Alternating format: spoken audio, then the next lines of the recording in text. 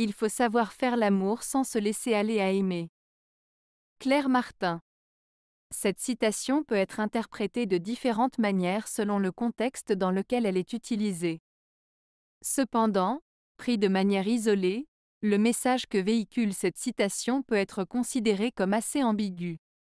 Si on la comprend de manière littérale, elle suggère que l'on pourrait séparer l'acte sexuel de l'amour, c'est-à-dire qu'il serait possible de faire l'amour sans aimer la personne avec qui l'on est.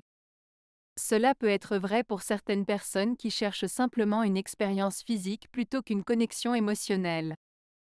Mais pour d'autres, faire l'amour est un acte intime qui ne peut se faire que dans un contexte de sincérité, d'émotions partagées et de respect mutuel.